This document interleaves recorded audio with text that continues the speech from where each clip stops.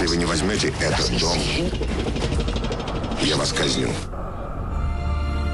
Один дом, а за ним вся страна.